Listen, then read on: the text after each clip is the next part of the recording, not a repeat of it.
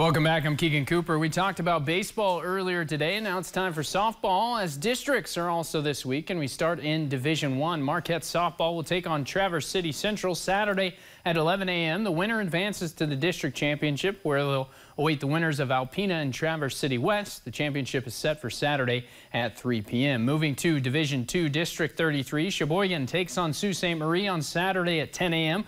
The winner will take on the winner of Escanaba and Kingsford, who play at noon. The District 33 championship is set for 2 p.m. on Saturday. staying in Division 3, District 65, Negaunee faces Calumet Saturday at 10 a.m. The winner will advance to the district championship at 2 p.m. up against the winner of Westwood and Houghton, who will play at noon on Saturday. Also in Division 3, District 66, Manistique will take on Menominee at Friday at 11 a.m. The winner will either take on Iron Mountain or Gladstone, who plays at 1 p.m. The District 66 championship is set for Friday at 3 p.m.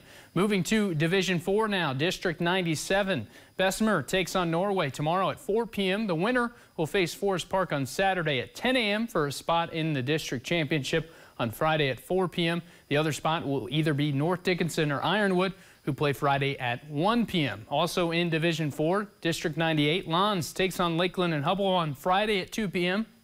The winner will face Hancock Friday at 4 p.m.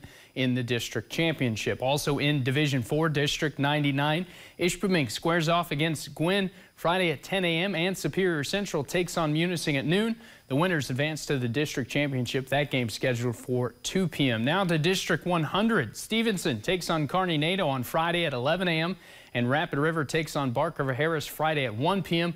The winners advance to the district championship Friday at 3.30 p.m. And finally in softball District 101 Division 4, Rudyard takes on Newberry Friday at 10 a.m. and Pickford squares off with Brimley at noon. The winners advance to the district championship Friday at 2 p.m.